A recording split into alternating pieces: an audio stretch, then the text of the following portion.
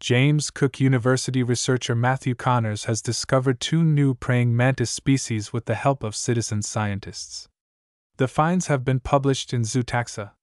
One of these new mantises is not just a new species but an entirely new genus, the classification level above species, and was discovered thanks to citizen scientist Glenda Walter.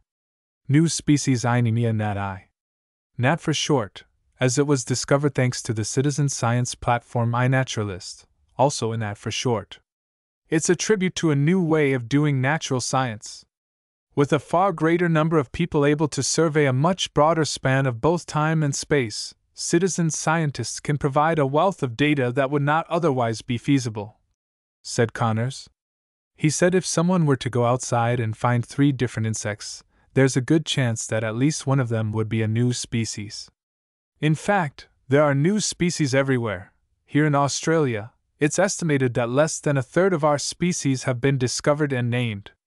Scientists are hard at work documenting these organisms, but new research has shown that even amateur naturalists can help discover new species, said Connors.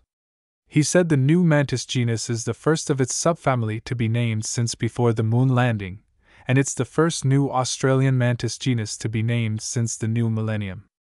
A second new mantis, named Ima corymbia, was also discovered by Connors.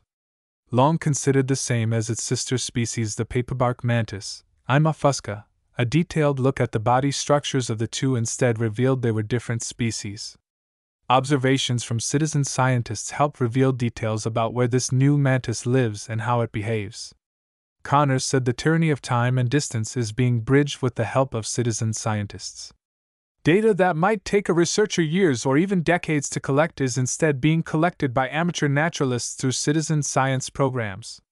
It's a wealth of information that we're only just beginning to tap into, said Connors. Citizen science is a fantastic way for anyone interested in nature to get out there and start making discoveries.